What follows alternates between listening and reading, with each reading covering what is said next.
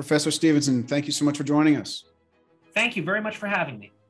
Why don't we start off with your, with your background? Where'd you come from? Uh, what did you study and what have you been working on and where are you now? Sure. So I um, graduated from Harvard University with my JD from Harvard Law School and a PhD in political science back in 2003. After that, I spent a couple of years clerking for federal judges in Washington, D.C. And then I returned to start as an assistant professor on the Harvard Law School faculty back in 2005. And I've been here ever since. The topics that I work on are principally topics in public law and the intersection with politics. So I work on administrative law, statutory interpretation, separation of powers, corruption, anti corruption, and issues related to legislative process and legislative reform. So that's a that's a wide variety of topics. Um, so, is there an overarching theme to your interest in in government and systems generally? I think the topics that most interested me back to my days in graduate school have to do with how we design decision making systems. So people disagree about the right decision to make on any number of contested issues. And in a pluralistic society where different people, people of good faith, uh, have very different ideas about what decision ought to be made, we need to develop systems that produce some process for resolving those questions. So the decision making authority has to be allocated to somebody, but we're uncomfortable with giving one party or entity total control. So we often divide, design systems with checks and balances and various forms of oversight and review. And that's what I really found interesting, both in my political science studies and also when I got to law school and started to think about these issues from a legal perspective. I think those are the issues that I've always found um, most fascinating. And so, since you spent some time in the judiciary uh, and in academia, so did did any of that experience in the in you know in your clerking uh, have impact on your on your academic work? Well, I'm sure that it did in some ways. Um, to the extent that my academic work engages with what judges do and how legal doctrine develops, being in the room where it happens, uh, as, as it were, certainly was was interesting and, and influenced my thinking. There are particular corners of the law that I probably would never have thought about, except that while clerking, we had a particularly interesting and challenging case that, that implicated that corner of the law. So I'm sure that, experience influenced my thinking. Um, I don't think it was as transformative to my thinking as my experience in law school and in my political science PhD program was in terms of my orientation towards the world and to academic problems. But it was a great experience and certainly informative. So why don't we move on to uh, you know some of the subjects that you've covered uh, in your work, and uh, I'd like to start off with the one I think we it's called democratizing the Senate uh, something thereabouts, uh, where you talk about um, Senate procedures and, uh, and, and you know, can you talk through you know what what are the questions that that you had going into that that piece of research, and did you find any interesting solutions or or ways to try to optimize some of the processes in the Senate? Yes, so that project that you're referring to is a, a paper called uh, Democratizing the Senate from Within, which is a joint project, myself, my former teacher, Ken Shepsle, and my former student, Jonathan Gould, who's a professor at the UC Berkeley School of Law.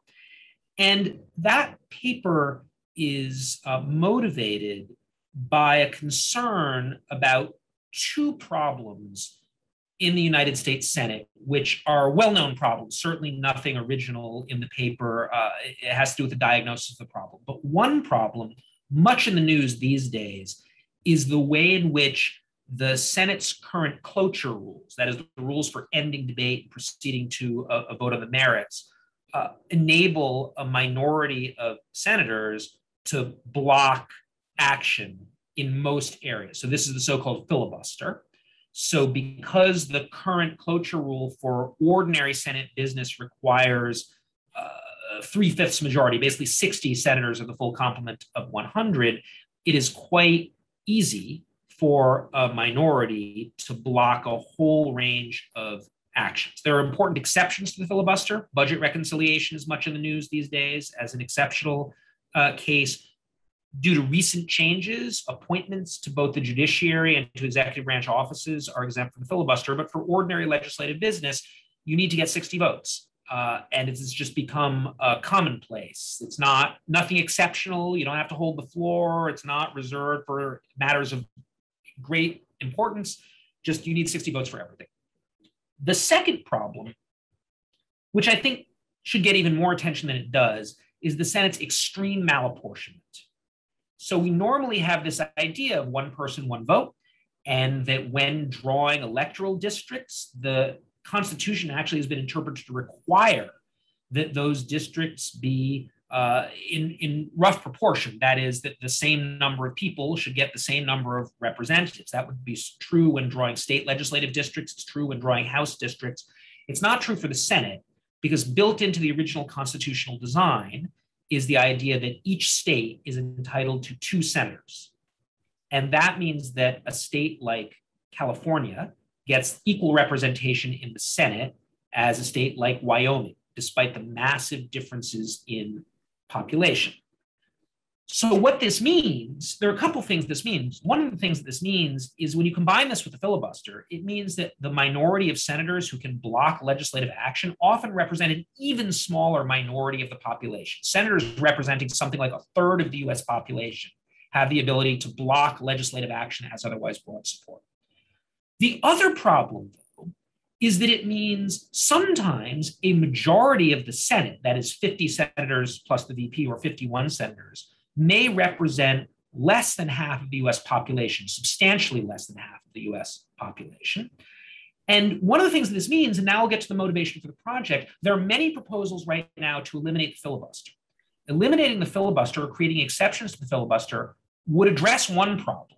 It would make it easier for majorities to advance their agenda and prevent the, major- the minority from obstructing. But it would exacerbate potentially the second problem. Because if there were no filibuster, or in those situations where right now there is no filibuster, measures can pass out of the Senate with 50, 51, 52 votes, even though those senators in the majority represent substantially less than half of the US population. So, for example, a few years back under the Obama administration, when there was an effort to pass uh, the DREAM Act to protect uh, children who were brought to the United States illegally, but as children, there was a majority of senators in support of that, but not enough to get to 60 votes in the Senate. So the bill was blocked by the filibuster. The senators in support represented well over half the population. But then you take something like the 2017 Tax Cut and Jobs Act, the so-called Trump tax cuts. The Senate, that's governed by budget reconciliation, so uh, filibuster was not possible. The, the majority of senators who voted in favor of that represented only 40 something percent of the US population. So we think this is a problem. And then the question is, well, what do you do about it? Our proposal is instead of just eliminating the filibuster outright, to change the Senate's current cloture rule so that debate must end when there's a motion to close debate that is supported by a simple majority of senators who represent collectively more of the US population those senators who vote against cloture. So it would still be the case that um, if you don't have 50 votes, you can't, or 51 votes or 50 votes plus the vice president, you can't move a matter forward. But even if you have a majority of senators who vote in favor of cloture, if that Senate majority represents less than half the US population, then debate must, must continue. In other words, those senators who collectively represent a majority of the population could filibuster, but otherwise we would operate by simple majority rule. And our argument is that that would make the Senate substantially more democratic and would do so without a constitutional amendment and without changing the two senators per state rule. It could be done internally. That's why we titled the paper Democratizing the Senate from Within. That could be done through a change to the Senate's own rules regarding the cloture process. And we think that would make the, the body more majoritarian and more legitimate, as well as more functional do you uh, then you know have a reciprocal rule for the house where uh, if there's a majority it has to represent more than half of the us geography so no. Uh, that that is geographic territory? No. We because we don't think frankly there is no plausible normative philosophical justification for apportioning representatives uh, to population units that are vastly different in size.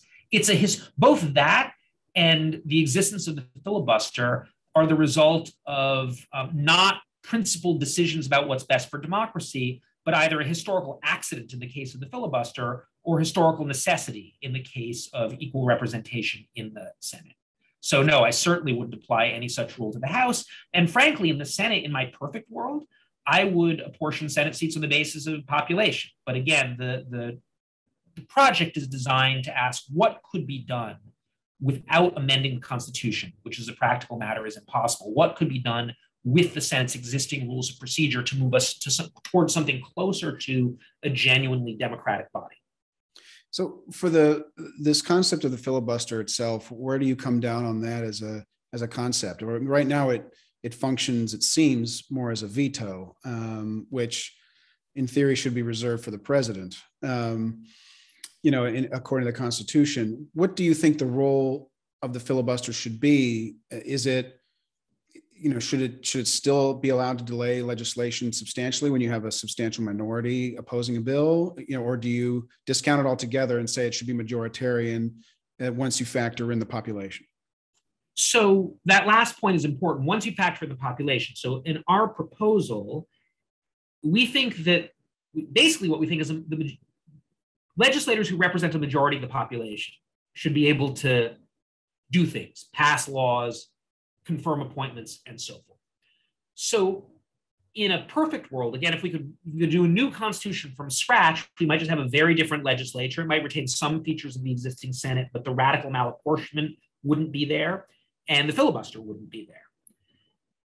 The fact that the Senate is so malapportioned, I think, is the only plausible justification for retaining something like the filibuster. I think if we did not have malapportionment in the Senate, I would be perfectly happy with majority rule. I don't think that a requirement of supermajority rule for most Senate business is justifiable. There are certain items, and they're specified in the Constitution, where a supermajority is required, where you need two thirds of the Senate, for example. Um, but for ordinary legislative business, no, I would run it on a majoritarian basis. However, because the Senate is so badly malapportioned, this creates a potential justification for, I think, what in the tech world they would call a kludge, a kind of inelegant solution to a problem that you really wish didn't exist in the first place. The problem is the filibuster doesn't really work as a kludge because although it's true that under some circumstances, when the Senate majority represents less than half the population, the filibuster functions as a majoritarian device. In other circumstances, it does exactly the opposite. It exacerbates the power of the problem of minority obstructions. So our proposed way around this is to build population representation directly into the cloture rule. And we believe you can do that for the same reason that the filibuster is allegedly constitutional in the first place, because votes to end debate are technically not final votes. They're internal procedural rules. And so maybe people ask how, how is the filibuster even constitutional? Like, doesn't the Constitution specify where there's a supermajority requirement when there's no supermajority requirement? Isn't the assumption that ordinary rules of parliamentary procedure would apply, and that includes majority votes? And I think that's right. The defenders of the filibuster will say, but that only applies to final action. The filibuster is just the product of a procedural rule that allows debate to continue. And so, what Professor Gould, Professor Shepsle, and I say is okay, fine sauce for the goose is good for the gander. If you can do things with procedural rules that you couldn't do because of the Constitution for final votes, then we also are not stuck with each senator gets equal voting power.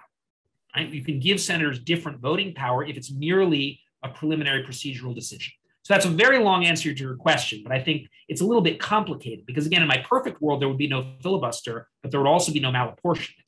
If there is malapportionment, then there should be filibuster of a kind, but not our current filibuster, which requires a supermajority of senators, rather a different kind of filibuster that can be maintained by a simple majority of senators who represent a majority of the population. Well, let me ask the question then more broadly, whether it applies to the Senate or the House in terms of um, you know the minority in term in what its power basically is uh, to increase the costs of passage of a bill. right? Mm-hmm. Uh, so, you know, it, you could say that a 51% supported bill incurs X cost, and one that is supported by 99% of the body uh, imposes X, you know X two X costs or know, half of costs or whatever you, you have. You know, the, the, filibuster seems to, or some mechanism of delay seems to create some outlet for intensity of of opposition. Um, and do you support that notion, or it doesn't matter whether it's 49% or 1% opposition? They should be able to cut off debate and vote. The latter. I think that the idea that the filibuster measures intensity of preference is a bit of a myth. It's a myth that derives from Hollywood treatments like Mr. Smith Goes to Washington. It also derives from the old talking filibuster where people would have to hold the floor. As people have increasingly been pointing out, we shouldn't romanticize that. The most prominent uses of the so-called talking filibuster to represent intensity of the Senate were used principally to deny civil rights to Black Americans or other minorities. So the filibuster, it wasn't invented exactly by the pre-Civil War Southern senators who wanted to protect slavery, but they were the ones who really started to make use of it extremely aggressively. And then in the middle of the 20th century, that was where we saw, so it was intensity of preference, but not in a way that I think is terribly credible. But even put all that aside, the modern filibuster, due to reforms in the 1970s, does not require one to hold the floor. It requires, so cloture votes can just be held and require 60 votes. If the cloture vote fails, then the matter doesn't proceed. So it's, it's free, essentially, for the minority. Now, this has led some people to say we should bring back the talking filibuster. Then it would be used more sparingly and it would measure intensity of preferences. I think there are a couple of problems with that. So, first off, the reason these reforms in the 1970s were adopted is to prevent a situation where the entire Senate is ground to a halt. The Senate can't take up any other business because someone is filibustering. So it may be that someone has very intense preferences on a particular bill and wants to filibuster it. But if what that means, is they actually have to hold the floor. So the Senate can't take up any other matter, no other appointments, no lifting the debt ceiling, no taking care of anything that's a really big problem. So I think the reforms that allowed uh, cloture votes to take the form of just these up or down votes rather than having someone hold the floor were well-intentioned reforms that, that solved a real problem. And I'm not sure we want to return to that world where the body could be ground to a halt. Now, then you might say, well, but people would only do it really rarely. Not necessarily as long as they can tag a team, right? As it doesn't need to be literally one senator. That senator can yield to another one. So unless you had a situation where one person had to hold the floor, like Jimmy Stewart and Mr. Smith goes to Washington, then that's not really what's happening. And no, none of the proposals on the table involve that. So if, for example, the current Senate minority wanted to filibuster a proposal the minority favored, they would just need to kind of do a do a you know I don't know what the, what, what the right metaphor be musical chairs round robin something like this pass the baton and could maintain it. And, and meanwhile, nothing else in the Senate could be happening. So I'm not hugely enthusiastic about the idea of like bringing back the talking filibuster so to measure intensity of preference. I don't think it really does that. And besides, I'm not sure intensity of preference matters that much intrinsically. If there are people who really have intense preferences on a particular policy matter, the normal way we imagine this gets worked out in legislative process is they'll be willing to make concessions on other things to stop or support a bill that they really care about, uh, as opposed to this kind of demonstrative thing where they stand up and talk for a long time or, or scream and shout. So yeah, I don't I don't tend to think that that argument I, I find I don't find that argument very compelling because what I care about is majoritarian democratic legitimacy. Right, and so also it seems beyond the preferences question, it's also the magnitude of opposition doesn't mm-hmm. matter mm-hmm. as long as it's below forty nine percent in your mind.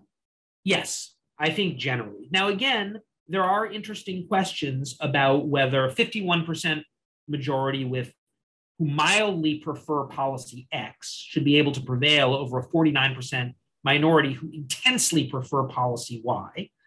But my answer to that is if that's really true, then this minority ought to be able to offer something to that 51% majority in the normal horse trading of the legislative process if they really care that much not to grind the whole body to a halt, especially because given the way the system works right now, the 51% may care intensely and they, they're still blocked, right? We don't really have a great way of, of measuring with, with scientific exactitude or, or anything close to it intensity of preference in that manner. So again, I'm sure there are smart political scientists and economists out there who can come up with even better voting systems that work intensity of preference into account. Um, but again, the, the goal of our project is to work as much as possible within the existing framework and ask how could we adjust the existing cloture rules in order to achieve something uh, more closely resembling a legitimate majoritarian outcome. Right. Well, let's move on to uh, the other subject, um, another subject that relates to your work, uh, which is this idea of Congress delegating its power. Uh, yes. and you and you have several different pieces on this. One of them relates to uh, when, I guess, and to whom uh, Congress delegates its power, and then the other is once it's delegated, particularly in the instance of regulatory agencies, how does it effectively do oversight and what impact does that oversight have on the performance of the regulatory bodies? So can you talk through that area? What what are your kind of fundamental interests in that space? What questions you ask and did you find anything interesting? Yeah so a lot of what i have to say here is not at all original to me but is the central preoccupation of one of the major fields of law that i study and teach.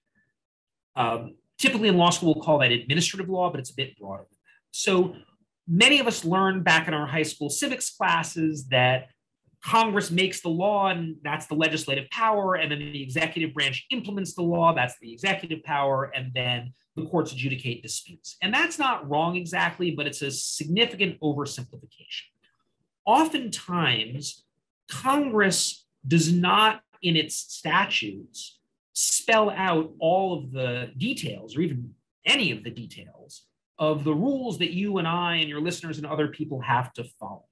The Clean Air Act doesn't say exactly what kinds of pollution control technologies power plants or automobiles need to use. It doesn't say exactly what the allowable concentrations of sulfur dioxide or particulate matter are in the air. It delegates to the Environmental Protection Agency, which is an agency within the executive branch of government, the responsibility to promulgate regulations that will protect human health and the environment. Now, uh, before before you go on, I just want to make sure that you know, in theory, Congress could do that regulation itself. It could set up its own kind of captive regulatory body that reported to it. So, and that split was made whatever 100 100 plus year 150 years ago. What do you feel like before we move on to the existing situation do you feel yes. like that split was legitimate or do you think that in the very beginning they should have kept it internal? I tend to think it was legitimate. I think there are a lot of problems with just how much power administrative agencies have and how it's exercised. I do think that oversight both by the courts and from congress is important but i am not in the camp that says this was a huge mistake. It was illegitimate. Um, this all needs to be done by Congress. The regulatory bodies need to be within Congress. I think there are just a lot of practical advantages. And this goes back, by the way, this is there's this myth that this was a modern invention. Back at the founding, Congress was passing statutes that gave the Treasury Department or the various or the president or various other uh, bureaus and departments substantial authority uh, to do what looks a whole lot like legislation, even if we don't want to call it that. Um, I think that there are, again, there are huge advantages to giving administrative agencies this kind of authority. And it fits uncomfortably, I recognize, with some, some of the theories of government that we learn. Um, but I think in practice, there are, there are substantial advantages to it. And it's, a, and it's a central feature of our system. Um, I should say another reason for doing this, frankly, uh, and this relates to the earlier part of our conversation, is congressional dysfunction. So when it's so difficult for Congress to legislate, even when, let's say, even the president's party has a majority in Congress, and it's so difficult to update statutes so that they can address contemporary problems, there will inevitably be enormous pressure on the president and the administration to aggressively construe the statutory authority that they have to do what they believe needs to be done and to advance their policy agendas. And this is this has been true of both Republican and Democratic presidents going back generations. It's, it's true right now with President Biden issuing a directive to the Department of Labor saying basically develop workplace safety standards that entail either uh, COVID vaccination or regular testing. So that would be an example of uh, inability of Congress to act on an important issue, leading the executive branch to move. The Trump administration did similar sorts of things when it couldn't get Congress to pass the statutes that it wanted. Uh, the Obama administration, the, you just keep on going back. This, this happens all the time. And I tend to think it's, it's not intrinsically a bad thing. I think that um, government is big and complicated, and the problems that confront our government are big and complicated, and Congress has limited time and limited attention and limited resources, even if you didn't have all this dysfunction.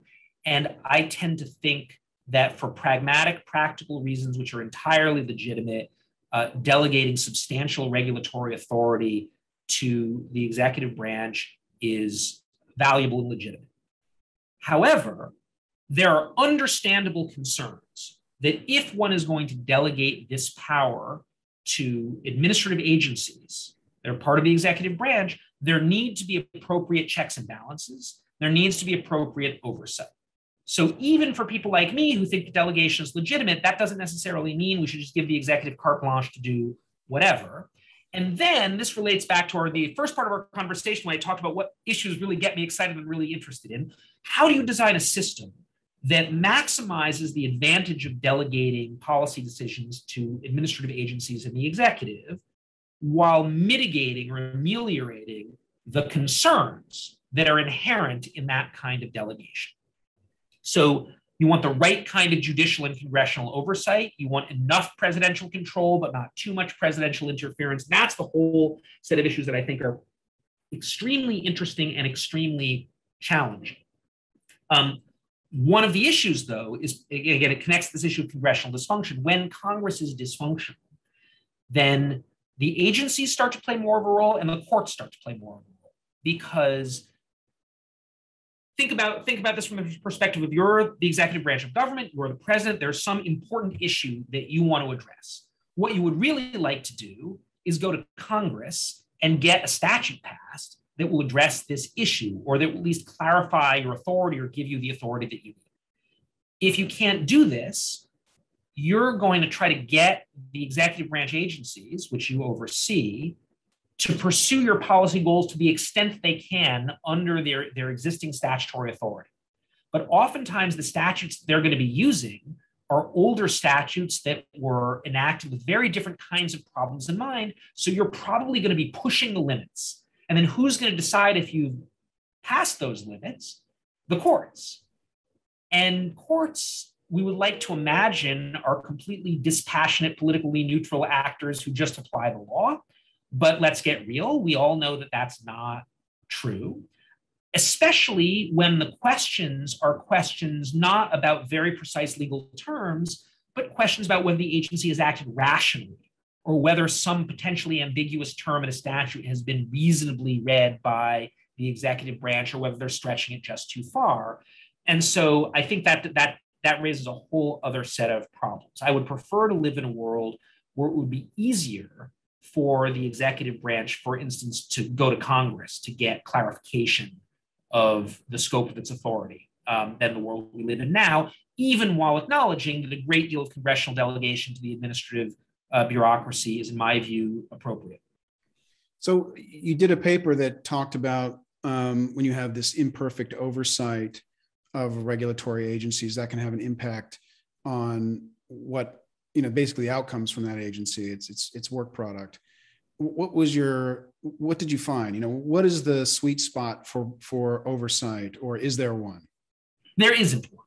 So we're we're there's no perfect solution we're always trading off values and this is this is a theme that comes through very much when i when i teach my first year law students this material we spend some time struggling with this um, courts struggle with this as well it would be nice if there were some simple, easy, uh, neat solution. If you just had this form of oversight, you get things right. But we're constantly navigating between Scylla and Charybdis. Like there's just no way around it. Uh, and that's that's kind of just the world we live in. With respect to courts, uh, just to continue with that example, um, we like the idea that agencies have to behave lawfully. Many people believe that uh, judicial review, and here I'll quote a, a senior administrative law scholar from the mid 20th century judicial review may be necessarily necessary psychologically, if not logically, to a system of administrative power that purports to be legitimate. I don't think there are exceptions, but most people wouldn't want to live in a world where courts didn't have a role in determining whether agencies had acted within the bounds of the law and where agencies could just decide for themselves without oversight what the law means. On the other hand, agencies have expertise in their policy domains that courts just don't have. Agencies, through the president, are accountable to the electorate in a way that courts just aren't. And many issues regarding the scope of agency authority are arguably not, strictly speaking, legal questions, but are questions about the right way to apply general legal standards to particular circumstances. So many people worry, understandably, about judicial overreaching, that instead of just policing the boundaries of what will be legal, courts will, dis- will end up assuming for themselves a role that really should rest with the agencies and make policy. And so we're constantly trying to balance these considerations. Another place where we're struggling to balance these considerations has to do with the procedures that agencies have to follow, when the, the executive branch has to follow when it makes these rules and regulations. We might say, well, if we're going to give agencies all of this power to do all this stuff, we'd better impose them some pretty significant procedural requirements. They should be required to consult with members of the general public before they take some significant action. They should be required to justify the decisions that they make in a manner that an ordinary person can understand. They should have to support their scientific or technical claims with adequate evidence that would pass muster according to the appropriate standards of science or economics or whatnot. On the other hand, the more we load down agencies with these procedural requirements, the more hoops they have to jump through, the harder it is for them to act the more difficult it is for them to respond to pressing problems. And that creates pressure to speed up the process, to move quickly. And again, it's a very, very difficult challenge. I used the example of, of President Biden's order to the Labor Department with respect to uh, COVID restrictions in the workplace as an example before, and I can invoke that again now. Uh, the specific thing that the Biden administration instructed the Labor Department to do is to issue what's called an, a temporary emergency standard under the Occupational Safety and Health Act. Normally, to, to promulgate workplace safety regulations, there's an extensive, elaborate process that the Labor Department has to go through. And it's understandable why that's there. The Labor Department's decisions can, they're to protect workers, but they can impose massive costs on companies. So there are procedural safeguards built in to make sure the Labor Department considers all the evidence and processes it, makes it available for public viewing, and all this stuff. But that process can take literally years to promulgate a new workplace safety standard. So, in an emergency situation, the statute creates an exception where you can put into place a temporary standard for six months without going through all this process. But how much can fit into that emergency exception? I believe the way the statute is framed is you can use a temporary emergency standard if doing so is necessary to prevent a grave risk to worker health or safety. And so there's about to be a fight that I suspect will be litigated in court about what counts as necessary and what counts as a grave risk, and how much do we defer to the Labor Department's determinations on those points, and how much should a court independently assess whether the evidence really shows that the risk is grave and the standard is necessary. And again, there's no easy answer to this question. And there's no easy answer to the question of who gets to decide this. You know, it's interesting you bring up this emergency um, power because it's the interesting thing about that power is that it's limited by time, right? So it's a six month. Um, the law or the or the regulation or what have you has a, as a as a limited time window. Know, when you talk when you think about regulations versus Congress, you know, I'm always struck by the fact that whenever Congress makes a law, it thinks that it, that law should be immortal and live forever. It has no self-destruct mechanism, no way to no no sunset for the most part. Uh, it seems that regulations play the same role, uh, where you have a temporary group uh, that's making a rule that will last potentially for eternity. Do you have a, a position on that? You know, since you're bringing up this emergency power, which relates to a six-month period, has an automatic sunset what do you think about that as, as it relates to, you know, the, the regulators? So before I answer that question, I want to gently push back on your initial suggestion that Congress doesn't include sunsets in its legislation. In fact, it very often does. Uh, in, in fact, to connect this to our earlier part of our conversation, this is often a point of negotiation. It's happening right now with respect to, for example, the budget reconciliation bill, where progressive Democrats and centrist Democrats are fighting over what's going to be in there. And I gather just from news reports that one of the items under discussion is whether some of these provisions will sunset earlier. Um, my colleague Jake Gersen years ago wrote a nice law review article called Temporary Legislation that really emphasized the degree to which many statutes do contain these sunsets. But you're not wrong. Many statutes do, they don't necessarily live forever, but there's no built in end date, which is precisely why, for example, we are sometimes taking statutes from the 1930s and figuring out how they apply to modern technologies that were not even a, a dream back then. So that's absolutely right. Um, regulators also do sometimes build uh, sunsets into their regulatory policies or have lookbacks. So, one of the things the Obama administration did was they actually told agencies, to the extent permitted by law, they should do some retrospective assessments of their regulations that they had in place and figure out whether any of them should be altered or modified. Um, I think that sometimes it makes sense to include an automatic expiration date on regulations, but but not always. It's not obvious to me that that's uh, necessarily essential, especially because it is easier to change a regulation than it is to change a statute. Now, that doesn't mean it's super easy to change a regulation. Again, there's an elaborate process. It may, might take 18 months to enact a new regulation, and it might take another 18 months to withdraw that regulation or to substantially change it. Um, but it still can be done a bit more quickly. So I think that I'd be, I think it's kind of on an ad hoc basis building in time limitations to statutes or regulations might sometimes be appropriate. Sometimes it might be necessary in the legislative process to get the thing passed in the first place to have a, a known expiration date. But I'm not sure that really gets to the, the heart of the challenge. So, in terms of the oversight of the regulators, mm-hmm. um, you see the, the the balancing act that has to happen. Uh, you don't have a prescriptive solution for best practices or where it's worked well in the past or where it's really bad and we should avoid that area any any conclusions? Not that i could sum up succinctly in a conversation like this one. Um, it's again it's it's just so complicated. Again i think the story of at least the the latter part of the 20th century going into the 21st century has been increased polarization and dysfunction in congress has meant that presidential administrations of both parties have been even more aggressive than they had previously in trying to advance their domestic policy agendas through administrative regulation. And as they've pushed the envelope, it has provoked courts to become more aggressive in reviewing what agencies have done and perhaps to some degree less trustful or in, instinctively deferential to what agencies have done. Um, there's a lot of rhetoric about how a lot of these decisions should be made by Congress. And while I'm sympathetic to that rhetoric, I keep coming back to this theme. When you have a Congress that doesn't seem to be able to act on these issues, that is uh, due to a combination of institutional mechanisms that facilitate obstructionism and the polarization that has so dominated political news and political discussions for the last generation.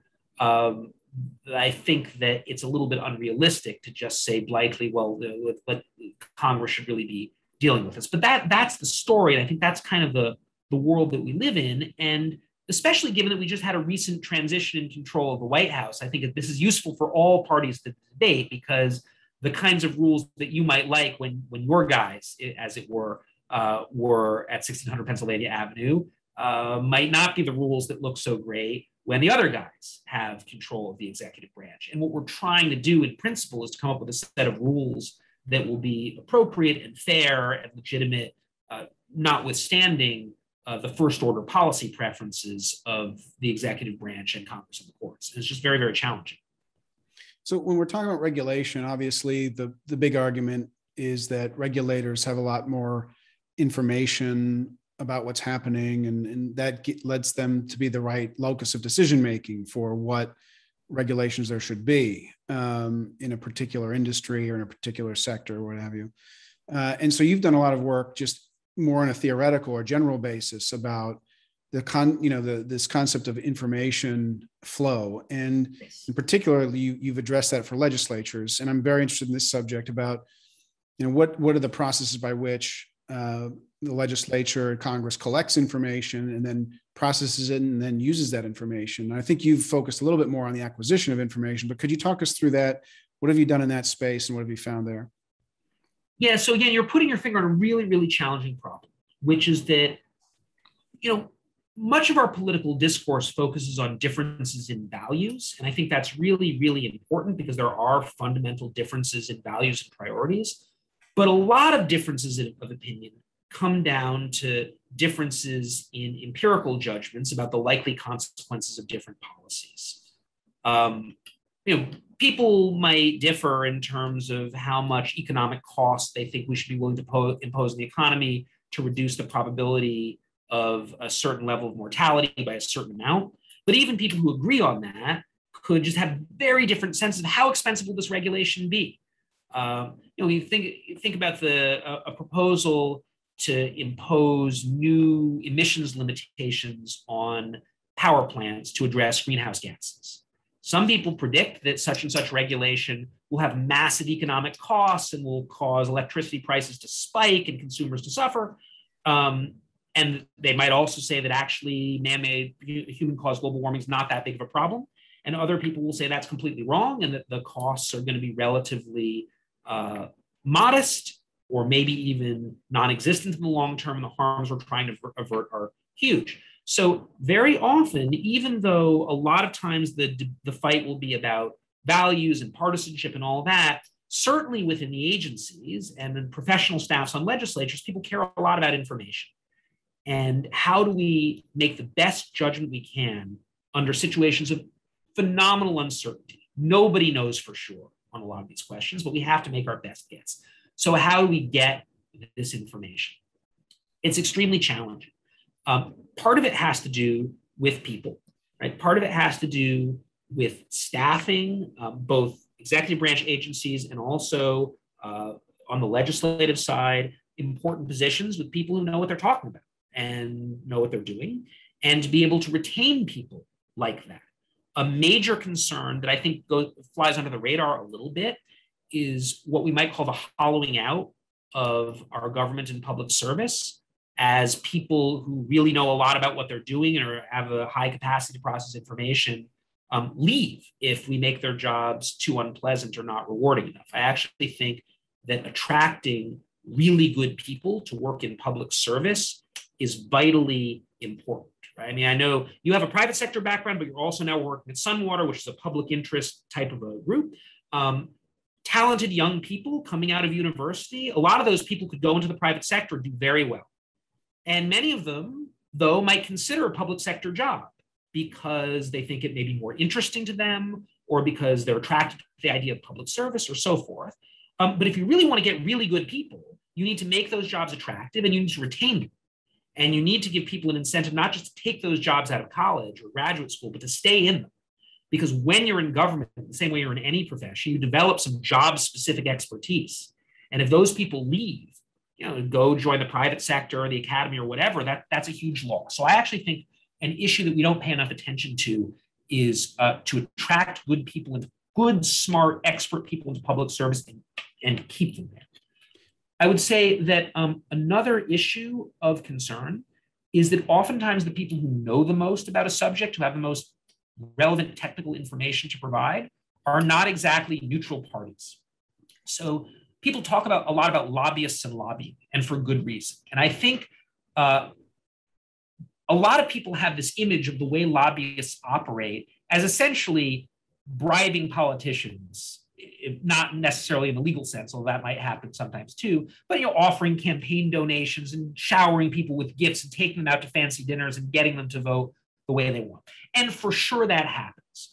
But what I think people don't appreciate as much is what a lot of sophisticated lobbyists do is they provide legislators and to some extent as well regulators with information, right? They're the often well-financed interest groups, the people who can hire staffs of really smart people who can prepare great glossy presentations and PowerPoints and do surveys and fun studies and do all this stuff so that at the moment when important decisions are made, the, the people who can supply the expertise, again, are not ideologically or politically neutral people. And that can bias the outcomes of policy in favor of the people who can become the reliable sources of information. So I think that I think an issue that we need to think more about is how to counteract that so that um, our decision makers can be getting information from technical experts from other directions. I mean, I remember talking to a business school professor years ago who described a particular accounting rule that was being made. It was a, a very obscure technical things. Like there are like six people in the world who even understand why this is important, and they're all working at investment banks. And so those are the people in the room explaining to the regulators why they got to do what they what they have to do. So I think that's another issue with respect to information that's hugely important. I think that you referred to legislatures before and their capacity to acquire information. I, I and I, I resisted the idea that there was a problem with delegation. The legislature should be doing all, all this stuff itself.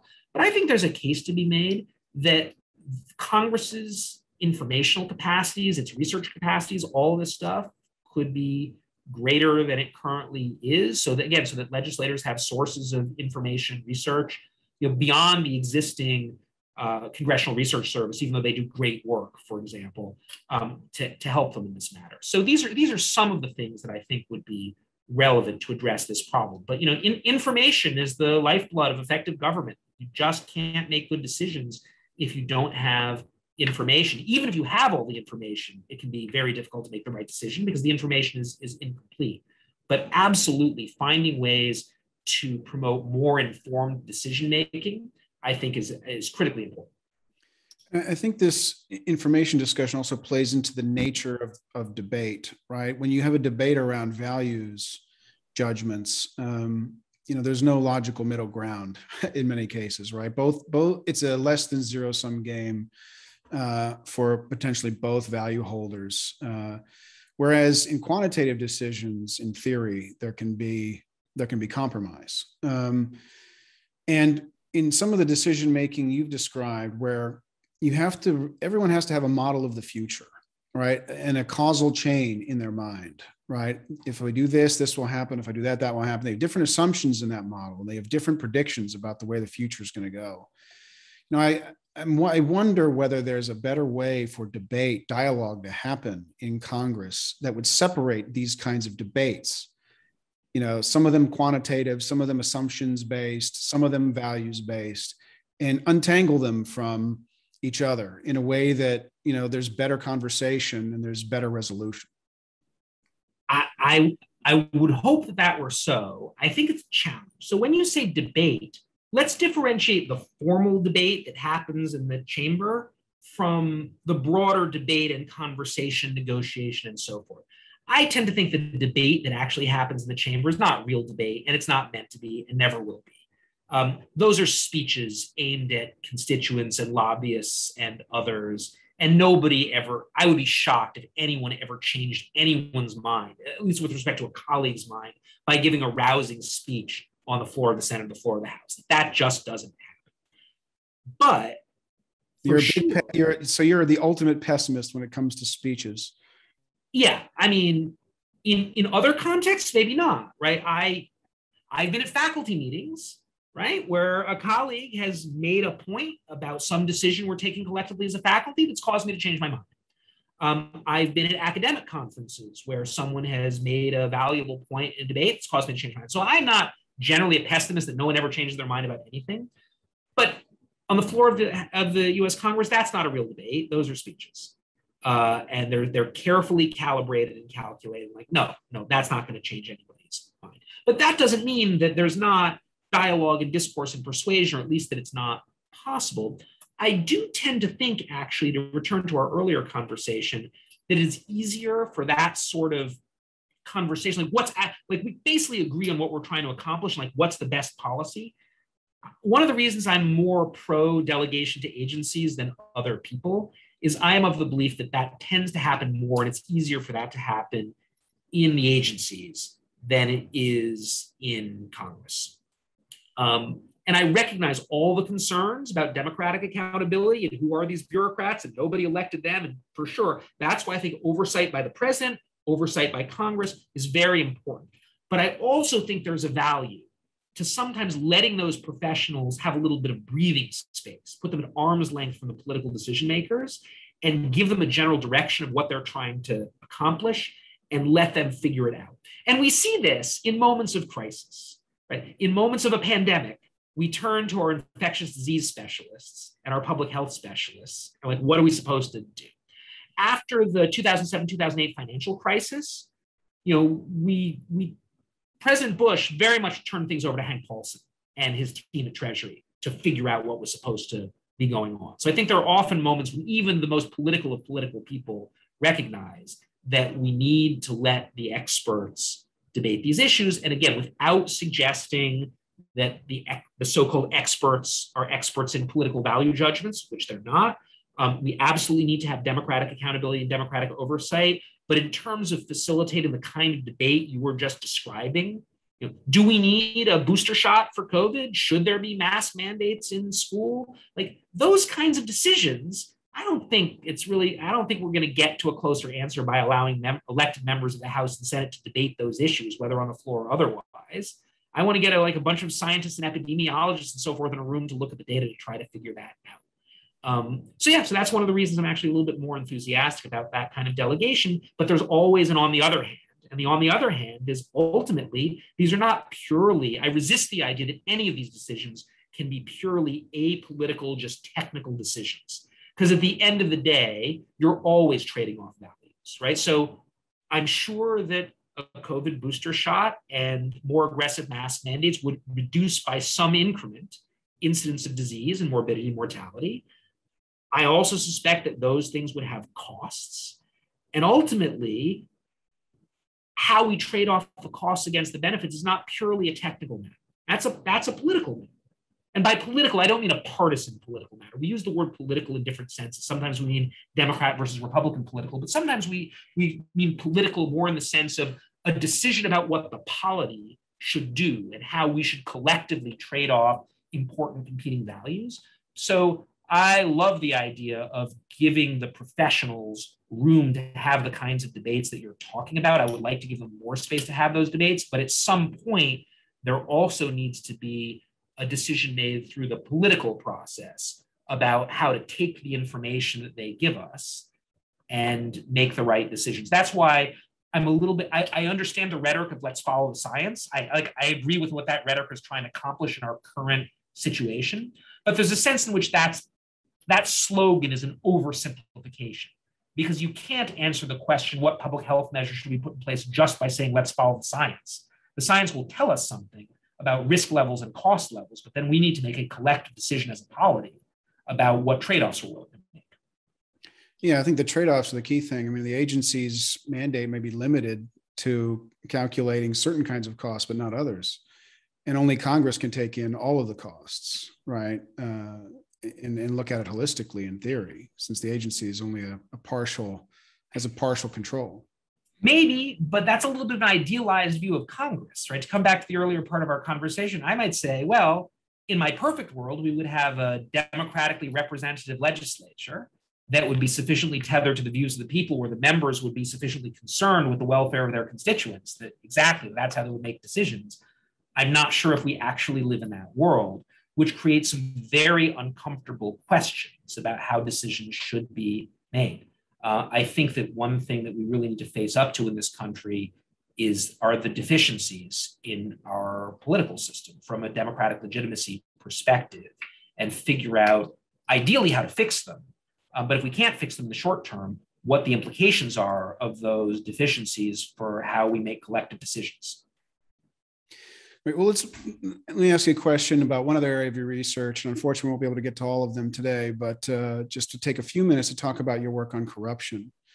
Um, now, obviously, there's a very narrow definition of corruption, uh, and then there's a very broad sense of kind of uh, legislative control, you could call it, of someone.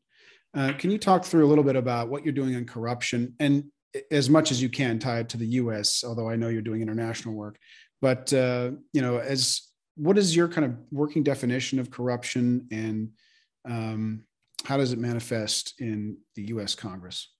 Sure. So when you say you're you're studying corruption, inevitably there are some challenges of figuring out well, how are you defining that term? The conventional definition of corruption that many advocacy groups and international organizations use these days is something like the abuse of entrusted power for private gain. I think the original it was something like the abuse of public power for private gain, but then there was a recognition that people in non-governmental organizations, private companies, universities, uh, international bodies, and so forth, may also be corrupt. They can take bribes, they can embezzle, and so we should say entrusted power rather than public power. But the abuse of entrusted power for private gain. Uh, well, what does that mean? That definition has a bunch of ambiguities baked into it. So, what counts as abuse? Uh, what counts as private gain? Do we say something is corrupt if it's illegal? Uh, do we say something is corrupt if if the act is genu- generally viewed as improper, whether or not it's illegal? Um, do we say it's corrupt if it distorts or uh, undermines uh, legitimate democratic decision making processes, even if no one thinks there's anything particularly wrong with it. All sorts of complicated questions. I tend to not want to get too hung up on the definitional questions. Corruption is a word that just is used in different senses. None of them are you know, necessarily always right or always wrong. Some people, as you say, use corruption in a narrow sense, and other people use it in a broad sense. My own research in this area tends to focus on corruption more narrowly defined. And that's not because, again, I think that's the right definition of corruption, the only definition of corruption. It's that I got interested in problems related to bribery, embezzlement, nepotism, conflict of interest, etc. And that cluster of issues typically gets labeled corruption or a, corrupt, or a, a corruption agenda. Now, with respect to the United States, we have plenty of that kind of corruption. So, on a, on a global scale, um, that problem is less significant in the United States than it is elsewhere, at least if you believe these various corruption perceptions measures. Um, but we still have it. And we, you, if you read the newspaper, right, you'll see reports of unlawful corruption. The United States Department of Justice has a whole section, the public integrity section, that investigates and prosecutes violations of federal laws pertaining to various forms of corruption. And that department is plenty busy, right? They submitted an annual report to Congress and they're doing a lot. So we have plenty of that kind of garden variety. Uh, I shouldn't that minimize it. I should so, so illegal corruption, uh, bribery, embezzlement, conflict of interest, etc. It's it exists and it's a big problem. Now, some people would prefer to use a broader definition of corruption to describe patterns of influence in, for example, the United States Congress, the outside role, outsized role, excuse me, of lobbyists, uh, the degree to which legislators are responsive to big donors, even if there's no quid pro quo. Many people think of it as not just a problem, but a form of corruption that individual people are allowed to make such large donations to uh, political action committees or directly to candidates, and then those candidates vote on matters that that directly affect the interests of these donors. I entirely understand why many people would say that's corrupt. And as I said before, I have no interest in litigating definitions. What I would say, one place, one thing that I do resist, and sometimes there's this argument that you see that actually there's just as much corruption in the United States as there was in the United States 150 years ago, or as there is in modern Cambodia or Russia or Sri Lanka or Bangladesh or what have you. And the argument is the US hasn't really eliminated corruption, we've just legalized it. Look at the lobbyists, look at the campaign donors, and so forth. I resist that in part because, based on my study both of US history and of the situation in other countries, while I'm very, very concerned about excess money in politics in the United States, there's just an important difference between the methods of influence that are used in the United States through legal channels of lobbying, for example, and outright bribery for decisions in terms of the distorting effect that it has on the public policy process. It's just different. Um, and it has different consequences. The consequences are much more severe when outright bribery or embezzlement are widespread the way they are in many other parts of the world and the way they were in the United States 150 years ago. The analogy that I sometimes like to use to drive home the point that I'm trying to make is that if you look at the US judicial system, there are a variety of ways in which it's biased in favor of the wealthy. Wealthy people can hire better lawyers, pay them more, and have sophisticated people on staff. And they may be repeat participants in the litigation process and just be very good at it. So um, that's unfair and it's bad and it's a real problem that there's so many advantages that wealthy people have just because they can use their wealth to hire better legal counsel, legal advice, and so forth. This is not the same as systems where people can just bribe the judge to get the outcome they want. The fact that the, the use of money to gain the advantage has to be filtered through the hiring of better lawyers, of presenting arguments in a particular way, and so forth, means that even though this is a problem that creates an, un, an uneven playing field in, a, in, an area where it's supposed to be totally fair, um, it's not nearly as big a problem as systems where it is routine that the judge will rule in favor of whoever gives him the bigger bribe. And I think that's, I, I would draw a similar analogy to the political process. So wealthy private interests can monitor the legislative process. They can develop better relationship with legislators. They can hire fancy lobbyists who gather information in the way that I suggested before, present it very effectively, mobilize voters in a way that's very effective. All of this is a problem. But there are situations and again, this would be true in the United States in the past. Uh, it's true in other countries today where it is routine for legislative decisions to be made based on who gives the legislators the most money or money equivalent. So I actually, I actually do think there's a really big difference. Um, the other, the other issue that relates to the U.S. Congress and corruption, at least the way I study it, is there has recently been some encouraging legislative action to address corruption in a variety of forms. Uh, last year, the US Congress finally passed the Corporate Transparency Act, which requires the disclosure of the identities of people who own companies. There's additional legislation pending right now that would strengthen US anti corruption laws in a variety of respects.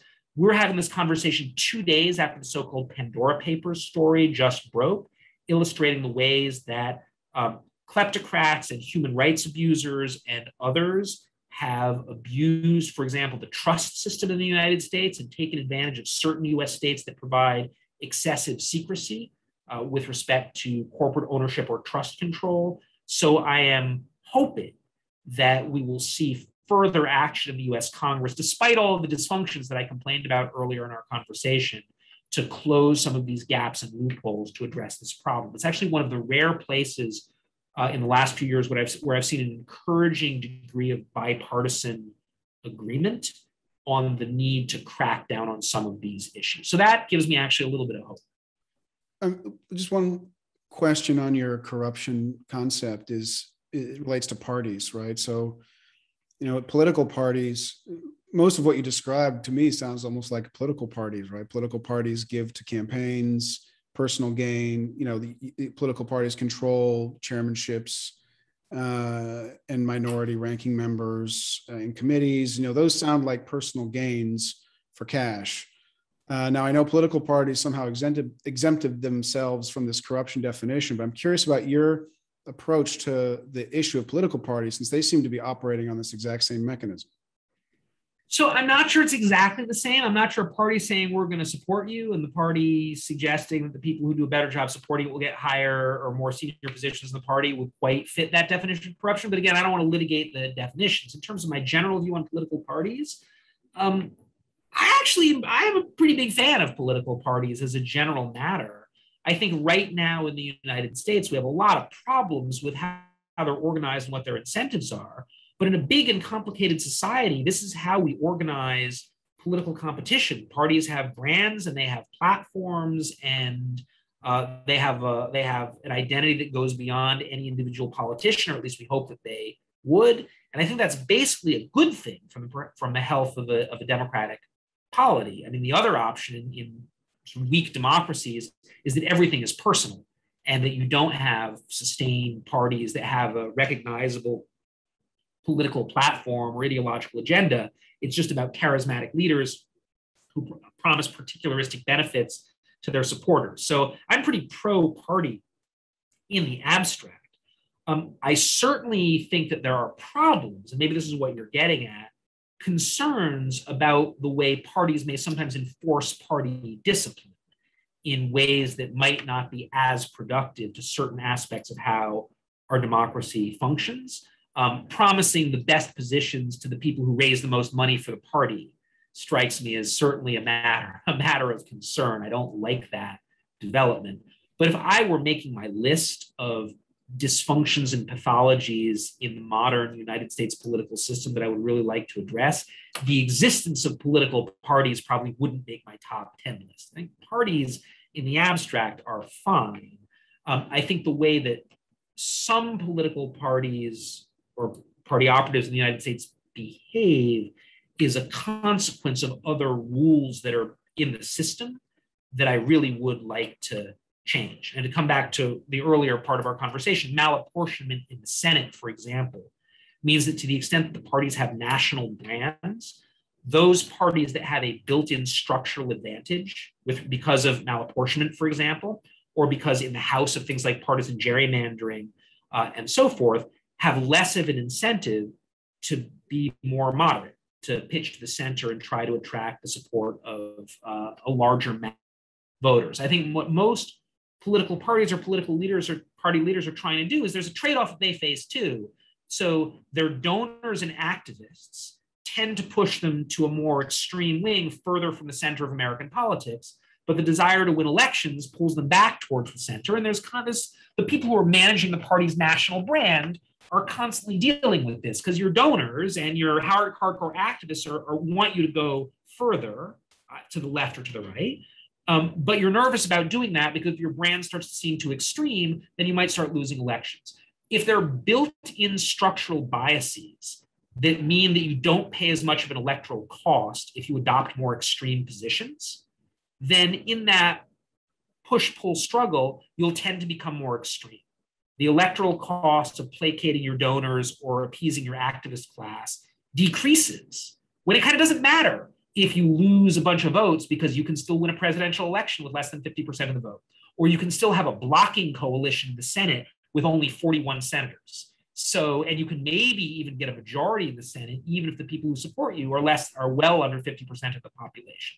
So I actually think that the, the, the asymmetric polarization, which is the term that many of my political science friends would use, the extremism in US politics right now is not a separate phenomenon from these structural biases and um, difficulties with the, the way our institutions are structured. They are, in my view, a, in, in substantial measure a consequence of those things because parties don't pay at least one party right now in our national at the national level doesn't pay as much of a cost if it adopts relatively extreme positions and i think that's bad for democracy i mean majoritarian democracy has all sorts of problems right as winston churchill once famously said and i'll paraphrase it's the worst system of government except that all the other ones that have been tried from time to time but right now in the United States, we do not have majoritarian democracy as our principal system of government at the legislative level. We just don't.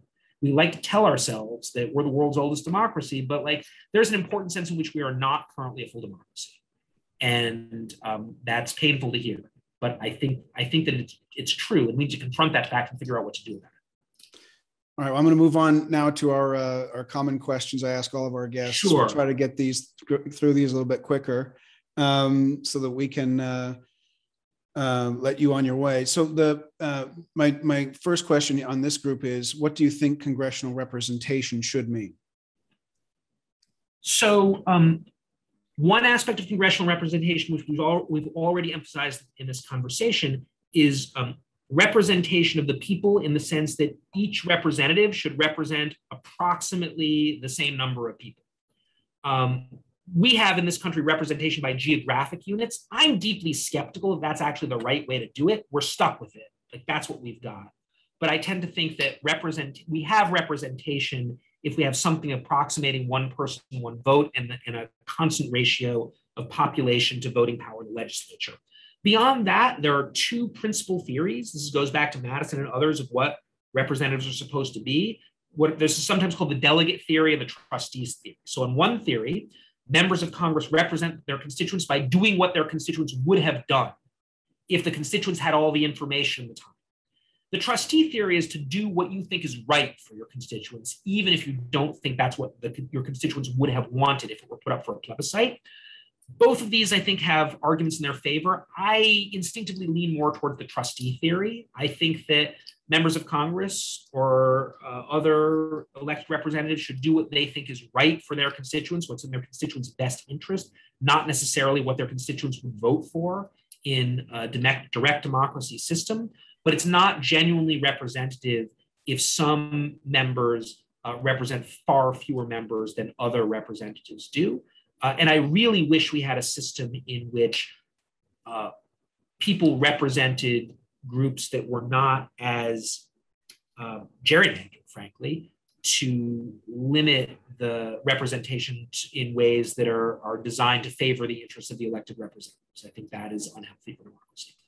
And so uh, it seems that you, but, but part of your definition sounds like the even in your trustee model, um, that a person represents a member, a representative would represent the entire district or state, Absolutely. as Absolutely. opposed to I, uh, just a you know a, a small portion of that group or the majority of the voters or what have you. Absolutely, I think that uh, you know President Biden, others have used this rhetoric in in speeches that I'm I represent all of you, not just those of you who voted for me, and I think that's absolutely right. I'm not a fool, right? I'm a realist. I know that in reality, members of Congress or other elected representatives are much more responsive to their supporters, or perhaps especially responsive to the people who might be tempted to vote for the other guy. But at least in principle, if we're talking about the ideal of representation, yes, an elected member should do what he or she thinks is best for the community as a whole and for his or her constituents. And what do you think about the future uh, in terms of future generations within a district or state? Uh, does the current representative also represent those future voters, those future citizens? Yes, I think that it's fair to place more weight on the interests of current voters and current constituents, partly because they're known uh, and the issues they face are known. But yes, I, I absolutely think that all of us should care about future generations and that and that I, again i think of elected representative positions as positions of stewardship of public service to the country and doing what is in the interest of the country and frankly of the world too requires thinking about the future not not a focus entirely in the short term so yeah i, I think that's i would agree with that entirely Right. Next question is uh, How would your ideal Congress allocate its time? And by this, I mean DC versus district, uh, legislation versus oversight? Um, I don't have a very clear sense of DC versus district. I don't have a super clear sense of legislation versus oversight. I would like to see uh, a lot more legislation oversight versus fundraising activities and various other things that are not really doing the people's business uh, whether that involves spending more time in the district talking to people or more time in DC interacting with your fellow legislators.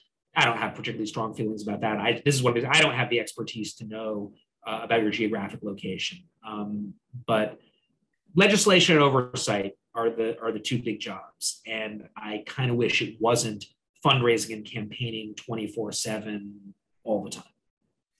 Right. Next question is uh, how, and we talked about this a little bit earlier. How should debate, deliberation, or dialogue occur or be structured in Congress? And so you've already talked about the floor as being a stylized speech uh, location. What about uh, you know where this debate, where this kind of dialogue discussion actually happens? Is it committees? Is it behind closed doors? Is it open?